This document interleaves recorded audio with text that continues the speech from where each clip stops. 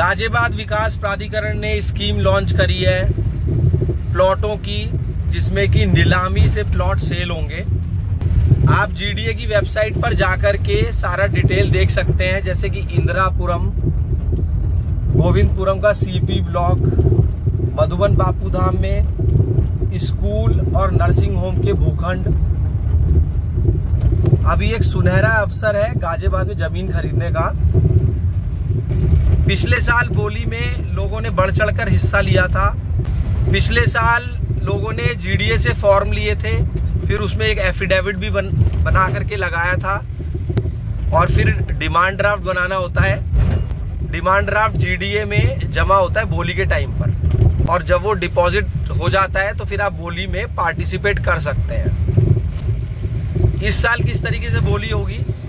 उम्मीद करते हैं कि हिंदी भवन में इसी तरीके से इस साल भी बोली हो, जिससे तरीके से पिछले साल हुई थी। हम देख रहे हैं फ़िलहाल रईसपुर का एरिया और इससे एक रास्ता गया है अभी अंदर अंदर जो कि 45 मीटर वाइड रोड पर पहुँच जाएगा और हम पहुँच जाएँगे मधुबन बापू धाम स्वर्ण जयंतीपुरम। ये सिटी पार्क के पीछे का हिस्सा है। यही वो चौड़ी सड़क है जो सीधे हापुड़ रोड से जुड़ी हुई है।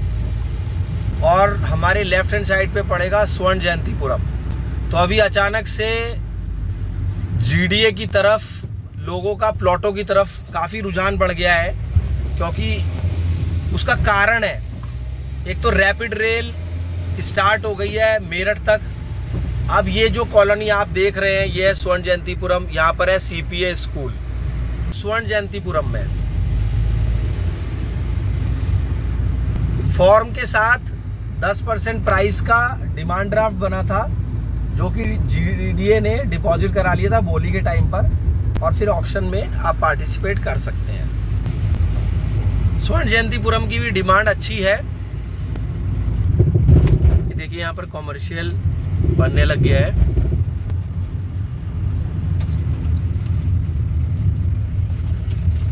पिछले साल बोली में यहाँ पर प्लॉट थे स्वर्ण जयंतीपुरम में। तो लोगों ने बढ़ चढ़ के हिस्सा लिया प्लॉट्स लिए। इसी तरीके से उम्मीद करते हैं इस साल भी जो गोली के प्लॉट होंगे, उसमें लोगों का रुझान अच्छा रहेगा। तो डायरेक्ट अथॉरिटी से खरीदने का आपके पास एक ये गोल्डन चांस है, नहीं तो रीसेल में प्लॉट लेने पड़ते हैं। ये आप सारा देख रहे हैं इस वक्त स्वर्ण जयंतीपुरम। ये स्वर्ण जयंतीपुरम में एक बन रहा है कॉमर्शियल स्वर्ण जयंतीपुरम मधुबन बापूधाम और गोविंदपुरम। तीनों कॉलोनी बिल्कुल सटी हुई हैं। गौर होम के फ्लैट्स के पास में सीपी ब्लॉक। तो अभी हम देखेंगे, ये देखिए, गौर होम के फ्लैट है। अगर आप गाजियाबाद के लिए नए हैं तो देखिए, यहाँ पर फ्लैट्स की कितनी कीमत है। अब आपको ज़मीन जिस दाम में मिल रही है, फ्लैट भी नहीं मिलेगा। तो ये ज़मीन मुफ़्त के दाम कह सकते हैं। सीपी ब्लॉक बिल्कुल इस चौड़ी सड़क पर। इस चौड़ी सड़क से जुड़ा हुआ है। गेट लगे हुए हैं, लेकिन उसको सीपी क्यों कहा गया ये मुझे नहीं समझ में आया आज तक। तो ये हापुड़ रोड से, ये जो देख रहे हैं, चौड़ी सड़क है। हापुड़ रोड सीधे गोविंदपुरम वाली ये सड़क, गौर होम के फ्लैट के पास में, जहाँ गोविंदपुरम का बस अड्डा है, ये देखिए बिजली घर है। अब हम सीपी ब्लॉक में आने ही वाले हैं।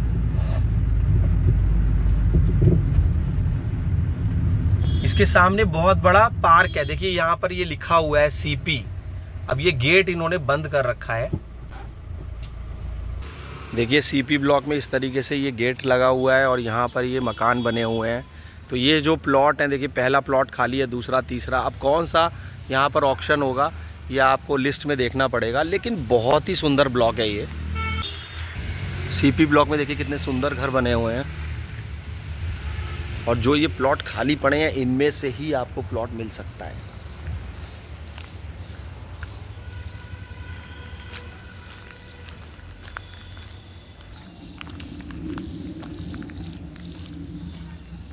यहाँ पर एक पार्क भी है। पार्क वैसे हर जगह होता है। इस वक्त आप देख रहे हैं सीपी ब्लॉक ये देखते हैं सीपी ब्लॉक का पार्क और पार्क के चारों तरफ़ ये घर बने हुए गेटेड कॉलोनी है।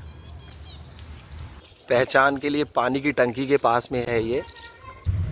सीपी ब्लॉक के पास में पड़ता है स्कूल मार्केट। अभी मैं आप लोकेशन एकदम टॉप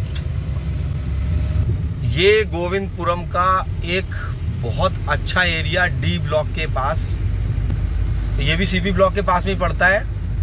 और नीलामी में लेने का ये फ़ायदा रहता है कि आपको सारा पैसा एक साथ नहीं देना है। टेन परसेंट रिज़र्व प्राइस, फिर शायद पंद्रह परसेंट और। तो वो आप ढंग से डिटेल देख लीजिएगा। तो इसलिए भी लोग नीलामी में डायरेक्ट जीडीए से प्लॉट लेना चाहते हैं। और ऑक्शन में भी वही प्लॉट ले पाएगा जो पूरे मन से प्लॉट लेने के लिए जाएगा। ऐसा क्योंकि पुरानी जो पहले नीलामी हुई है, उनमें देखा गया है जो महँगा सोच करके छोड़ देगा, वो नहीं ले सकता।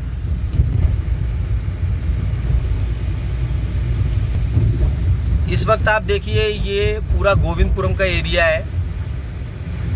यहाँ पर सिग्नेचर स्ट्रीट मॉल है। देखिए, ये विजन होता है।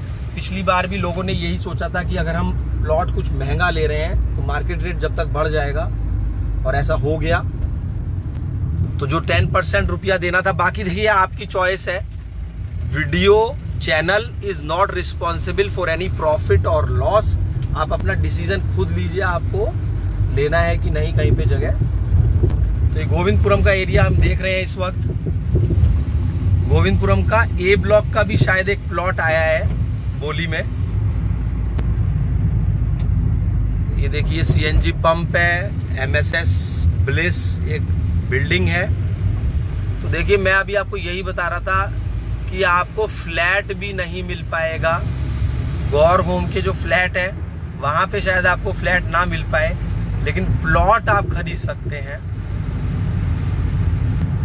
और पिछली साल जब बोली लगी थी तो हुआ था ऐसा कि अलग अलग प्लॉट के लिए आपको अलग अलग डिमांड ड्राफ्ट बनवाना पड़ा था। जिस प्लॉट के लिए आप डिमांड ड्राफ्ट बनवाएँगे उसी प्लॉट की बोली में आप बैठ सकते हैं। ऐसा नहीं है कि मान लीजिए सीपी ब्लॉक में 10 प्लॉट है तो 10 के 10 प्लॉट्स में आप बोली जब ही लगा पाएँगे, जब आप उनके लिए अलग अलग फॉर्म लें और आप अलग अलग डीडी बनवाएँ, ऐसा मुझे लगता है शायद पिछले साल ऐसा हुआ था, बाकी आप खुद एक्सप्लोर कर लीजिएगा।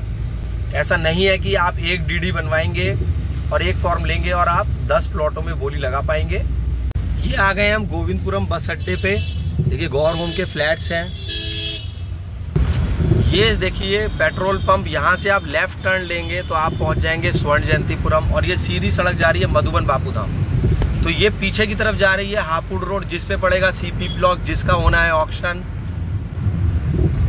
और आप देख सकते हैं, अगर आपको सीपी ब्लॉक में प्लॉट नहीं मिल पा रहा है ऑप्शन में नहीं मिल पाया तो आप स्वर्ण जयंतीपुरम या मधुबन बापू धाम की तरफ़ भी आप मूव कर सकते हैं। ये एफ़ ब्लॉक है मधुबन बापू धाम का, जो कि बिल्कुल गोविंदपुरम के पास में है। ये सीधी सड़क जा रही है सीपी ब्लॉक की तरफ़, हापुड़ रोड की तरफ़, और यही है एफ़ ब्लॉक तो एफ़ ब्लॉक में मिलेगा आपको 90 स्क्वायर मीटर, यानी कि 108 गज। 60 स्क्वायर मीटर यानी कि बहत्तर गज। यहाँ भी बहुत मकान बनते जा रहे हैं तो एफ़ ब्लॉक की अच्छी डिमांड देखिए 40 फुटा सड़क है। घर ये बना हुआ है।